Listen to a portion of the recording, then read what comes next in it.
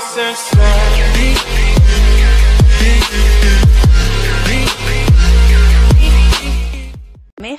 El presidente de México, Andrés Manuel López Obrador publicó un video de la reunión que sostuvo este martes en Palacio Nacional con Fausto Costa, presidente ejecutivo de Nestlé, a través de su cuenta de Facebook, mismo que aprovechó para anunciar que México será el próximo primer productor de café en el mundo, nos traen una noticia que quiero que ellos dos nos informen a los mexicanos sobre una decisión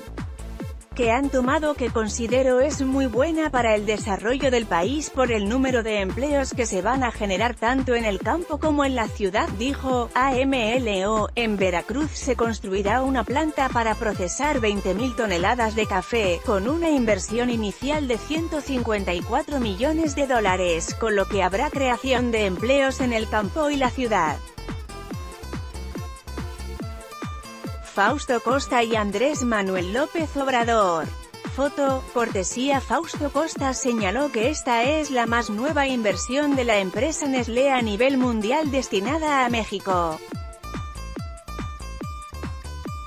Es una nueva fábrica de cafés para poder crecer la producción mexicana de cafés, rubro prioritario para el nuevo gobierno, donde aquí reforzamos la confianza de una empresa como Nestlé en México y en el futuro de México. Este aporte es de 154 millones de dólares en su primera fase que va a generar entre empleos directos, indirectos y etapa de construcción. Estamos hablando de más de 10.000 empleos y se va a localizar en el estado de Veracruz, señaló.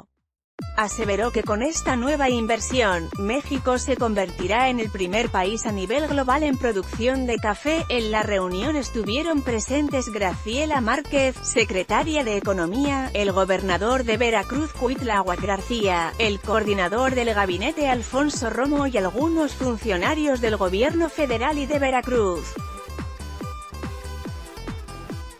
En esta nota,